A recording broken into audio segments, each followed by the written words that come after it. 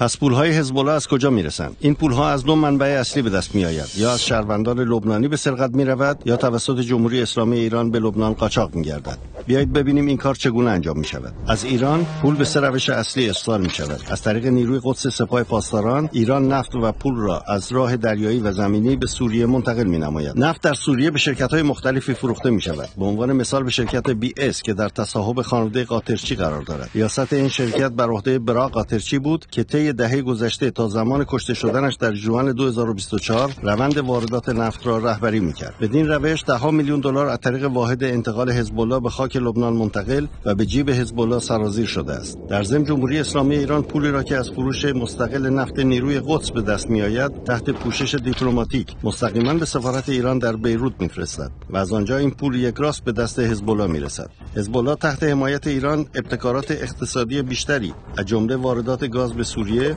و ساخت کارخانه در سوریه، لبنان، یمن و ترکیه را ترویج می کند. این ابتکارات نیز پولهای هنگفتی را به جیب این سازمان تروریستی وارد می سازد. و چه کسی این محور درآمد را مدیریت می کند؟ با محمد جعفر قصیر